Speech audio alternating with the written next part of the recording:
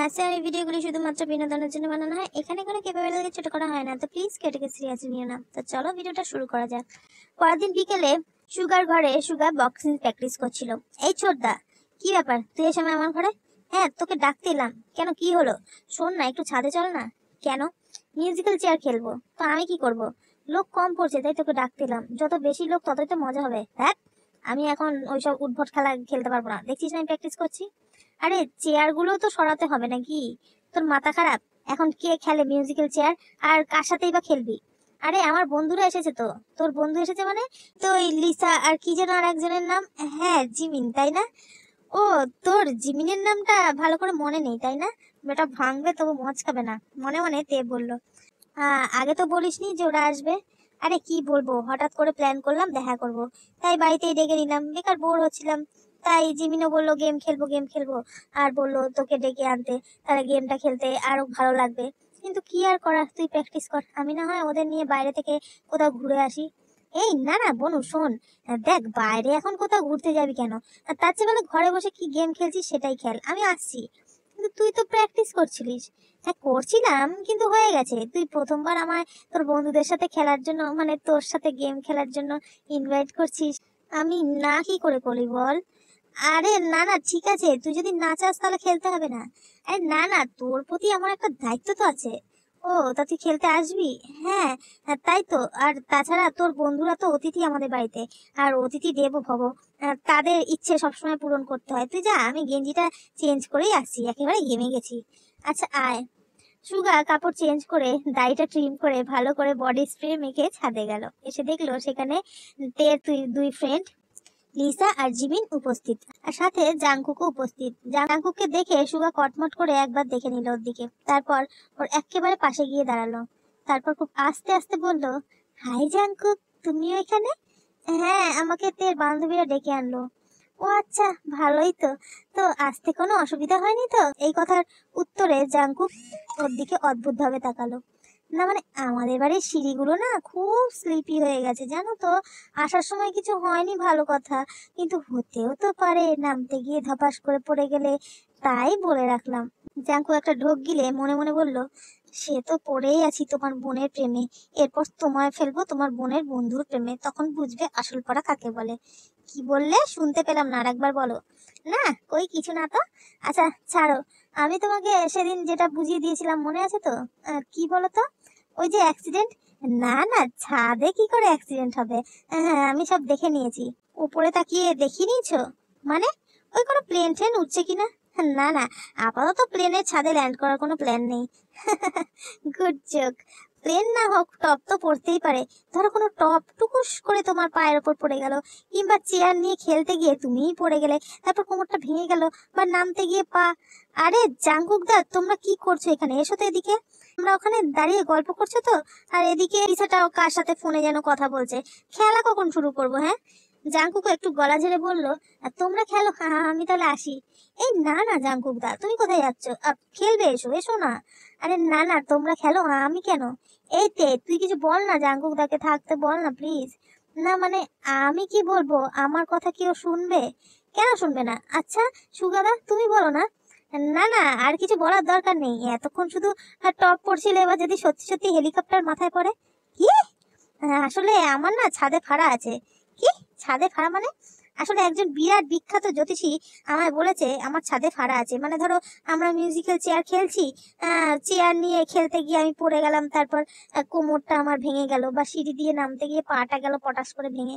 উফ জাঙ্কুক দা, তুমিও না? আমরা না হয় অন্য কিছু খেলব। ওই যেন কি একটা গেমের কথা বলছিলে একটু আগে? আর সিঁড়ির ব্যাপারটা নিয়ে তুমি চিন্তা করো না। ওই তের দাদা আছে না সুগাদা তোমাকে নিজ হাতে ধরে ছাদ থেকে নামাবে। তাহলেই তোমার ফাড়া কেটে যাবে, তাই না সুগাদা হ্যাঁ মানে আমি হ্যাঁ হ্যাঁ তাই তো, আমি তো হ্যাঁ অবশ্যই হ্যাঁ আমি হাত ধরে টেনে নামাবো। কি? না মানে হাত ধরে আস্তে আস্তে নামাবো জাঙ্কুককে তোমার আর তোমাকেও। কি? মানে তোমাদের সবাইকে যাতে কেউ পড়ে ঠরে না যাও। ও আচ্ছা তাহলে তো সব ঠিকই আছে, তাই না জাঙ্কুক দা হ্যাঁ ফাড়া যখন স্বয়ং ফাড়া নামিয়ে ফাড়া কাটাতে ফাড়ার ফাড়া হয়ে দাঁড়ায়, তখন সব ঠিকই আছে। কি ফাড়া কি? মানে কিছু না, ছাড়ো। আচ্ছা তাহলে এখন সবাই বসো, গেমটা শুরু করা যাক। জাঙ্কুক দা, তুমি কি রুলস সব বুঝিয়ে দাও তো? হ্যাঁ কিন্তু তার আগে লিসাকে ডেকে নি তখন থেকে যে কার সাথে কথা বলছে? এই লিসা লিসা? হ্যাঁ এসে গেছি, এই তো। কি, কার সাথে এতক্ষণ কথা বলছিলিস? তোর বয়ফ্রেন্ড বেশ বয়ফ্রেন্ড আসবে কোথা থেকে? এই তো দুদিন আগে আমি উনচল্লিশ নম্বর বয়ফ্রেন্ডের সাথে ব্রেকআপ করলাম। স্টেটাস দিয়েছিলাম, দেখিসনি? লিসার কথা শুনে সুগা আর জাংকুক দুজনেই আটকে উঠল। দুজনেরই একসাথে হিচকি উঠেছে। উনচল্লিশ হয়ে গেল? কদিন আগেই তো তেইশ চলছিল। আসলে না, একটু ভুল বলেছিলাম। উনচল্লিশ না, আটত্রিশ। সাড়ে আটত্রিশ। সাড়ে? তার মানে সাড়ে কেন? সাড়েই তো, এই যে লাস্টেরটা না ব্রেকআপ অ্যালামনি না দিয়েই পালিয়ে গেছে, তাই সারে। ব্রেকআপ অ্যালামনি ব্রেকআপের খরপর সেটা আবার কি?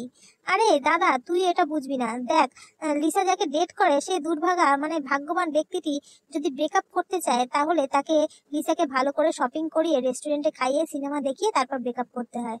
আর না হলে না হলে আমি কি ছেড়ে দেবো নাকি বেটাকে? এমন ইমোশনাল ব্ল্যাকমেল করব না, বেটা পালাবার পথ পাবে না। হ্যাঁ তখন সারা জীবন মহারানীর প্রকোপ সহ্য করো। সেই ভয়েই সবাই ওয়ান টাইম পেনাল্টি দিয়ে নিজেকে মুক্ত করিয়ে নেয়। সুগার জাঙ্কুক একে অপরের দিকে তাকালো। তারপর একটা বড় নিঃশ্বাস নিয়ে জাঙ্কুক বলল, হুম, খেলাটা শুরু করা যাক। সেই ভালো। গেম শুরু হলো। আমার প্রথম শব্দ হলো খেলা। বক্সিং যুদ্ধ, শান্তি, খুন্তি, হাতা বক্সিং গ্লাভস উফ, দাদা, শুধু বক্সিং নিয়ে বললে হবে না। তে ওয়ার্ড বল, না হলে আউট হয়ে যাবে কিন্তু। নতুন ওয়ার্ড বলছি, গুহা। বাদুর, চামচিকে, তোতন। সবাই জাংকুকের দিকে চোখ বড় বড় করে তাকালো। ধরেছিল ধরেছিল, সেদিন তোতন না একটা চামচিকে ধরেছিল। এবার সুগার টান। বক্সিং রিং দাদা, আবার, উফ, আমি বলছি, চিড়িয়াখানা। সিংহ, বাঘ বড়দা জাংকুক, আবার দেখাচ্ছিল বড়দা তোতনকে অ্যানিমেল প্ল্যানেটে বাঘ দেখাচ্ছিল। মিথ্যে কথা, হতেই পারে না। কেন? কারণ তোতন সিরিয়াল ছাড়া টিভিতে আর কিছু দেখেই না। ও, আমি তো ওটা স্বপ্নে দেখেছিলাম যে তোমার বড়দা তোতনকে কোলে বসিয়ে অ্যানিমেল প্ল্যানেটে বাঘ দেখাচ্ছিল। হ্যাঁ স্বপ্নেই সম্ভব, বাস্তবে নয়। আর তোমার টান উক্কা তোর নাকে পড়ুক, আর চোখেও। কি? চোখে কি যেন পড়ল? এই, জিমিন, তোমার ওয়ার্ড বলো। ঝড়, বিপদ। তের ছোদ্দা, কি? গাইজ এই গেমটা খেলাতে গিয়ে আমার প্রচণ্ড হাসি পায়। প্লিজ, কিছু মনে করো না। বাঁচাবে বাঁচাবে। ছাদে কোনো বিপদ হলে আমায় বাঁচাবে বলেছে, তাই না? তোমার ওয়ার্ড বলো। টপ ঢপ, ফুল, প্রপোজ, ভালোবাসা, জিমিন। কি? জিমিন, তোমার টান। দূর বাবা, এভাবে হবে না। কি হবে না? ও তুই বুঝবি না। আমার আর খেলতে ভালো লাগছে না। দূর, কাজের কাজ কিছুই হচ্ছে না। হ্যাঁ সেই ভালো। লোকের মনের কথা জানতে গিয়ে আমার মনের কথাগুলো হরহর করে বেরিয়ে আসছে। আর বেশিক্ষণ চললে বড় সড়ো একটা কেস খাব বলে মনে হচ্ছে। এর মধ্যে লিসার ফোনটা আবার বেজে উঠল। উফ, আবার সেই ফোনটা। আচ্ছা বিপদ। কার ফোন উফ, দেখ না, তখন থেকে একটা আননোন নাম্বার থেকে কল আসছে। তখন থেকে জ্বালিয়ে যাচ্ছে। সে কি, তোমায় বিরক্ত করছে? দাও, আমরা কথা বলি।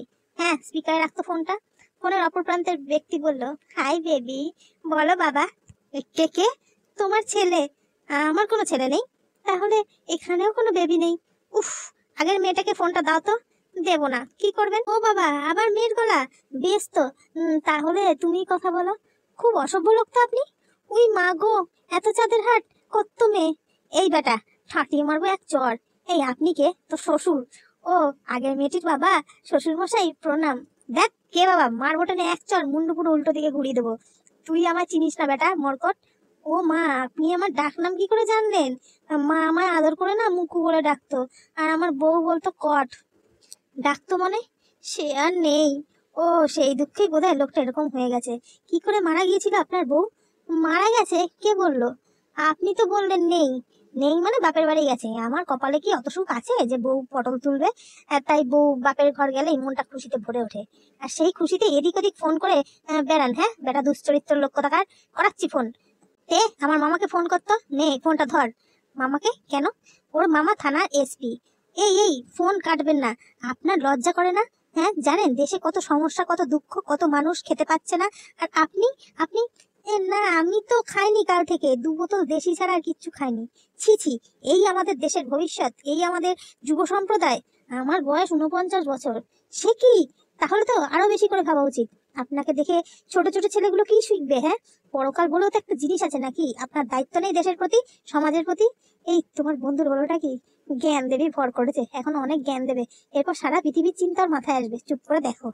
আপনি জানেন আফ্রিকায় প্রতি বছর কত শিশু অপুষ্টিতে মারা যায়? শুধু আফ্রিকা কেন? কত মানুষ কষ্টে আছে? সত্যি, কোন দিকে এগোচ্ছে আমাদের সমাজ? ছি ছি ছি ছি ছি। তে আমার ফোনটা নে আর কাকুকে ফোন কর। আবার কাকুকে ফোন করতে বলছে কেন রে? আরে, ওর কাকু ডিসিপি। সত্যি, আপনারা এত দায়িত্ব জ্ঞানহীন কেন এতটা ইরেসপন্সিবল কেন হ্যাঁ? কত মানুষ কাজ পাচ্ছে না, খেতে পারছে না? তে আমার মেশোকে ফোন কর। মেশো, ডিএসপি। আরে, কি মুশকিল, আমি কি করলাম?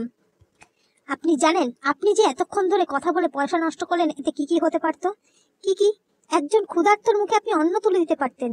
হ্যাঁ না হলে কোনো দুস্থ বাচ্চার বই কিনে দিতে পারতেন? না হলে কোনো অসুস্থ ব্যক্তির ওষুধ? না হলে কোনো ত্রাণ তহবিলে টাকা দিতে পারতেন? আপনি জানেন? না, জানি না। এত কিছু কি করে ফোনে কথা বলে করতাম হ্যাঁ? ফোনের পয়সাটা বাঁচিয়ে। কিন্তু আমি তো প্যাক ভরি মানে দুশো টাকা দিয়েছি, ছশো মিনিট ফ্রি এর মধ্যে শুধু তিরিশ মিনিট কথা বলা হয়েছে। এখনও পাঁচশো সত্তর মিনিট বাকি। কাল পর্যন্ত কথা বলে শেষ না করতে পারলে পয়সা তো জলে যাবে। ও, তাই আপনি এভাবে ফোন করে পয়সা উসুল করে নিচ্ছেন? পুরো বাবা ম্যাটেরিয়াল কি? না মানে বাবার মতো কিপটে, তাই।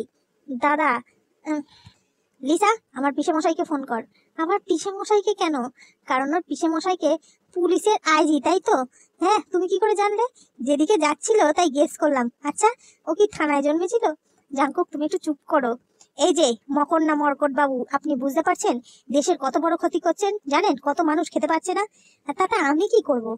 আপনার যদি প্রয়োজন নেই, তাহলে ছোট কম পয়সার প্যাক ভরবেন। এটাই সবচেয়ে সস্তার প্যাক তাহলে ভরাবেন না। এই পয়সা বাঁচিয়ে গরিব দুঃখীদের দান করুন। দেখুন, আপনার মাসে বাঁচবে দুশো টাকা। না, এক মাস কেন? আঠাশ দিনে প্যাক তো তার মানে আঠাশ দিনে আঠাশ দিনে মানে একদিনে বাঁচবে সাত টাকা চোদ্দ পয়সা। আর বছরে বাঁচবে ছাব্বিশশো সাত টাকা। আপনি ভাবতে পারছেন কত টাকা? আপনি ওই টাকা দিয়ে কত মানুষের পাশে দাঁড়াতে পারেন? যুব সমাজকে উদ্বুদ্ধ করতে পারেন প্রেরণা দিতে পারেন। আমি বুঝে গেছি, মা মা, জননী? তুমি আমার চোখ খুলে দিয়েছ। তোমার দেখানো পথেই আমি হাঁটবো, আর ফোনে পয়সা ভরাবো না। আমি যুব সম্প্রদায়কে উদ্বুদ্ধ করবই ফোনে পয়সা না ভরিয়ে। সমাজকে উন্নতির দিকে আমি নিয়ে যাব। তুমি আমার চোখ খুলে দিয়েছ, মা গো।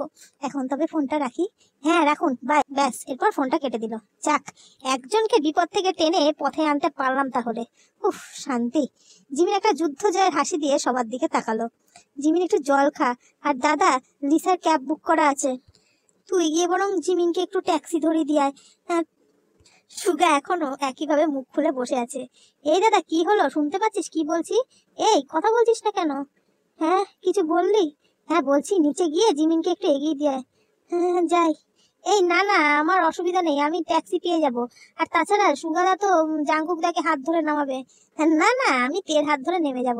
কি? না মানে আমি ঠিক নেমে যাব। হ্যাঁ তুই ওকে একটু এগিয়ে দিয়ে আয়। এরপর জিমিন লিসা আর সুগার নেমে গেল। উফ বাপরে বাপ, এই তোমার বান্ধবী কি ডুয়েল পার্সোনালিটি ডিসঅর্ডার আছে নাকি? কি? আরে, এই ভুল ভুলভুলে সিনেমাতে ছিল না? হঠাৎ করে মঞ্জুলিকা হয়ে যেত? তোমার বন্ধু কি হঠাৎ করে জ্ঞান দেবী হয়ে যায়? আরে না না, তোমাকে বলেছি না, এমনিতে মেয়েটা খুব শান্তশিষ্ট, মিষ্টি, কিন্তু যেই ছেলেদের ব্যাপার আসে, কীরকম যেন জ্ঞান দেবী হয়ে ওঠে। জানো, কলেজে কেমিস্ট্রি ডিপার্টমেন্টের একটা ছেলেকে প্রপোজ করেছিল। তারপর? তারপর এক ঘণ্টা ধরে থার্মোডাইনামিক্স পড়িয়েছিল। কি? কেন? কেন বলছি? তুমি তৈরি তো? তৈরি? কেন? ফ্ল্যাশব্যাকে যাওয়ার জন্য। So guys that's for today যদি ভিডিওটা ভালো লাগে like comment share and please subscribe to my channel and link করা